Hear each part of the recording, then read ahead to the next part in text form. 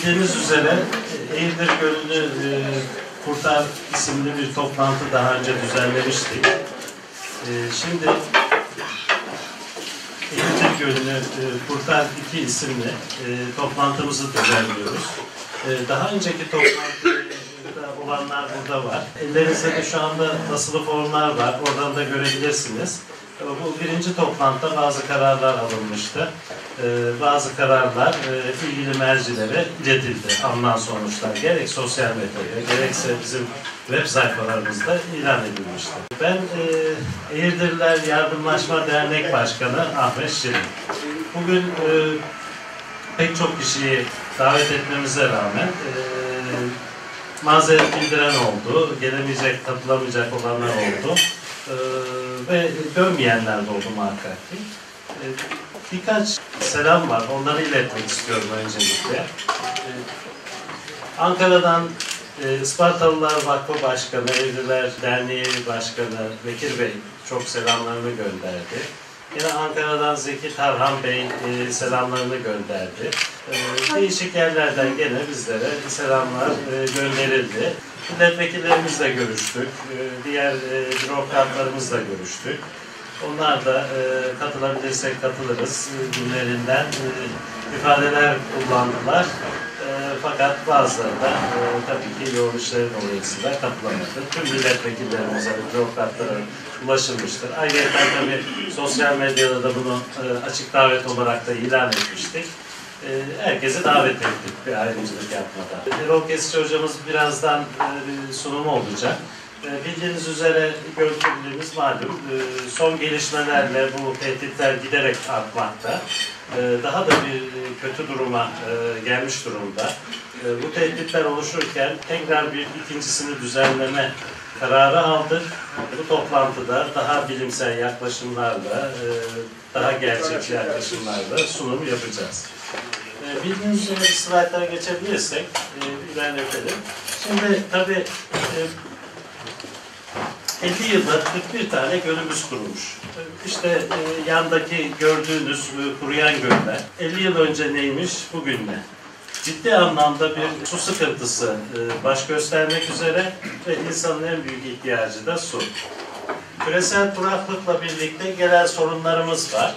E, bu gelen sorunlar içerisinde e, tabii ki göl kirliliği söz konusu. Göl kirliliğinin sebeplerini daha önceki toplantılarda konuşmuştuk. Elinizdeki kağıtlarda nelerin soruna yol açtığıyla ilgili bilgileri bulacaksınız bir önceki toplantıda. Ayrıca tabii küresel ısınmayla beraber e, sorunlar giderek artmakta. Biz ne yaptık? Eğirdirler Yardımlaşma Derneği olaraktan, yörenin insanı olaraktan bu e, sorunu göz ardı edemezdik, arkamızı dönemezdik. Biz de her insan gibi, her Türkiye insanı gibi, her yöre insanı gibi sorumluluklarımızı üstlenip çalışmalar içine girdik. Bildiğiniz üzere e, burada değişik başlıklar altında sürekli sosyal medyada gün- gündemi sıcak tutmaya, e, kamuoyuna taşımaya e, çalıştık. Tabii bu bir yıl önceki toplantıyla şimdiki arasında ne değişti? Aslında çok zor. E, yörük kültürü mü desem veya yöresel özelliklerimiz mi desem çok yavaş ilerliyoruz. Yani bürokratlarımızı kolay kolay harekete geçiremiyoruz. Ama e, şu da bir gerçek ki bu da bir şey.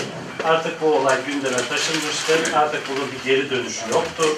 Artık bundan sonra icraat safhasıdır ki isteseler de istemeseler de gerek siyasilerimiz gerek, gerek bürokratlarımız e, bu işe el atmak zorundalar. Yani bu popüler bir şey olmasa bile geleceğimiz için, insanımız için, çocuklarımız için, gelecektemiz nesiller bırakabilmek için ve memleketimiz için bunu yapmak zorundayız.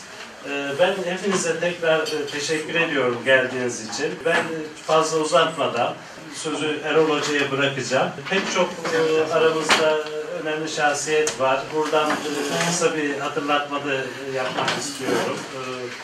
Ee, Yalvaçlar Dernek Başkanı Mahir Bey yeni seçildi. Hayırlı uğurlu olsun. Yeni yönetim çok kısa bir süre önce. E, Mahir Bey. Ayağa kalk da tanısın herkes sizi. Onların da çok iyi şeyler yapacağını biliyorum. Ayrıyeten Faik Bey burada. Faik Bey de e, 17 derneğimiz ve iki vakfımızın başkanı, başkanı Ispartalılar Gönül Birliği Derneği e. Hep beraber aynı yolda yürüyoruz. Yani isteyen e, istediğini desin. Şu 17 dernek ve iki vakıf e, her şeye bedeldir. İnşallah daha güzel şeyler yapacağız. E, Ben teşekkür ediyorum. Hemen sözü Erol bırakıyorum. Teşekkürler. Merhabalar, hepiniz hoş geldiniz. Tekrar buluşmak sizlerle güzel.